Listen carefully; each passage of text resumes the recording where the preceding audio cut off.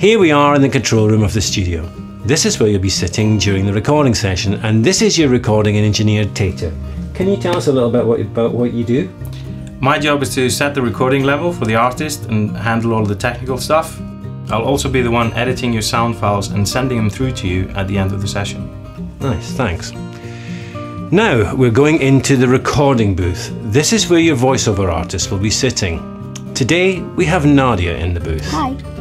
As you can see, Nadia is wearing a pair of headphones, which is how she receives feedback from the director. Other than the mic, obviously, there's also a monitor in the booth, where she can see the film you're working to.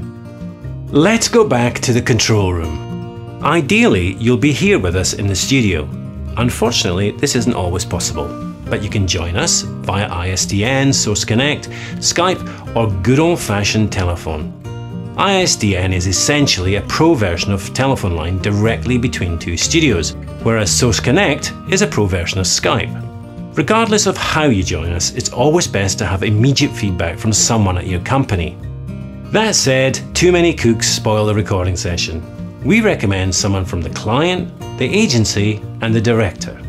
The director will be the main point of contact with the artist as it can get very confusing if too many people are speaking to them at the same time.